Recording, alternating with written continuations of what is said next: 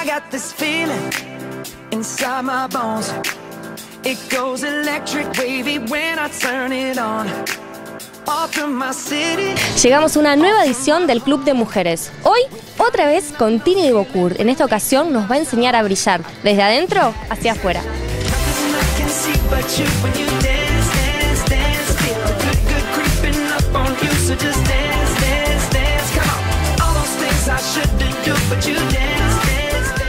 Hay que ponerse las pilas.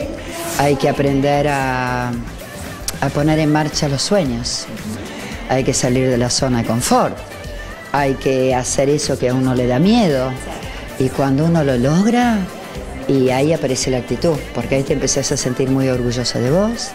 Y cuando un hombre o una mujer se sienten muy orgullosos de ellos mismos, aparece tu verdadera belleza, aparece tu presencia.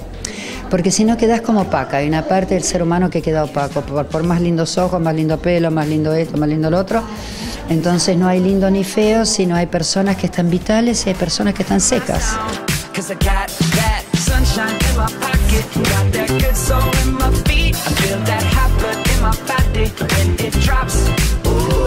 Ustedes, actitud a la vida, al día a día.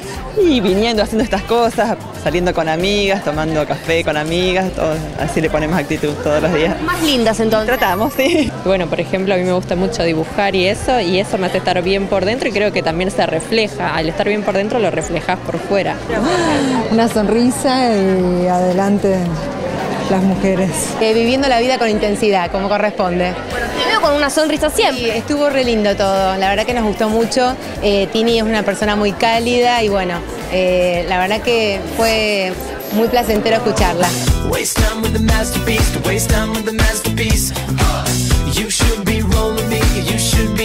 Me. Ah, fantasy. Trato de hacer deporte a pesar de mi edad y este, bicicleta como Tini que me da un placer enorme. Me voy llena de, un montón de experiencias compartidas por Tini que realmente eh, son muy positivas. Con ganas de vivir, con ganas de pasarla bien, de estar con amigas. Me levanto muy temprano, desayuno rezano, me voy a entrenar todos los días, trabajo, atiendo a mi familia. Bueno, todo lo que dice Tini, viste, yo tengo de, de la raya de 50 para arriba, así que bueno, pero es muy productiva la charla.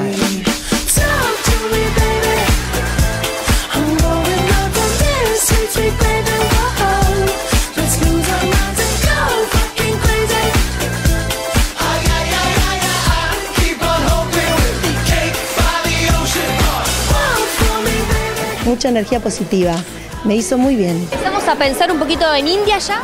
Eh, el año próximo que cumplo 50. Ahí está, festejo con las chicas. Los viajes a la India es, es un viaje de una mezcla muy divertida porque por un lado es turístico, pero por el otro lado tienen un montón de charlas conmigo. Yo viví en la India siete años, con lo cual tiene, viste, el viaje tiene un plus muy especial, porque obviamente los llevo a lugares donde el turismo común no va.